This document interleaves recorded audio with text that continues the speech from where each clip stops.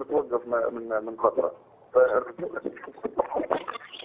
المناضله لكل اخوان أن اصمدوا نحن بالفعل. ان نقود الثورة الوطنية في ليبيا إلى جانب آه، قائدنا البطل المجاهد الكبير معمر القذافي فإحنا تحملنا المسؤولية وهذا قدرنا ولابد منا وباختيارنا أيضا ملوش فرض علينا وإحنا نكونوا المتكئ اللي قاتل منا أو من عليه الليبيين في كافة أرجاء ليبيا بعون الله حتى تحريرها شبرا شبرا. نعم.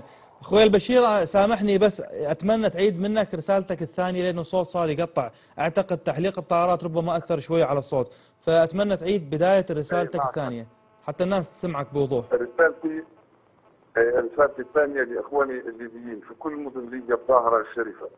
في كل آه، يعني لكل فرد من عائلاتنا وقبائلنا الطيبة الطاهرة أن إحنا متحملين مسؤوليات دورنا زينا زي أي ليبي شريف حر يرفض المهانة والاستكانه وإن بنوليد واهاليها والقله لا يمكن أن يتخلوا عن أي شبر في ليبيا زي ما اسلفت في الأول آه، معركتنا ما هيش بس لحمايه بني وليد وتأمينها إنما هي لتحرير طرابلس للانطلاق من طرابلس بعون الله تعالى لتحرير ليبيا من الحد للحد.